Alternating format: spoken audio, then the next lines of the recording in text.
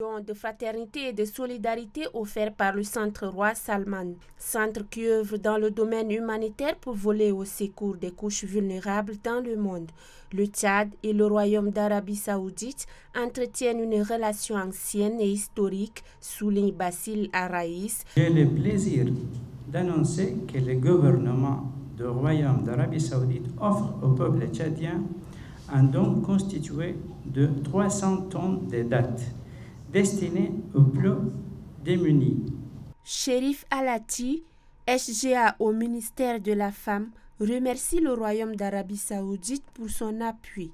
J'interpelle l'association pour que ces dons qui seront remis à leurs mains soient distribués équitablement aux pauvres dans les provinces concernées en travaillant en étroite collaboration avec le gouverneur et les délégués du ministère de la Femme, de la Protection de l'Enfance et de la Solidarité nationale. Un don infime soit-il peut apporter réconfort et soulagement, devait souligner Shérif Alati.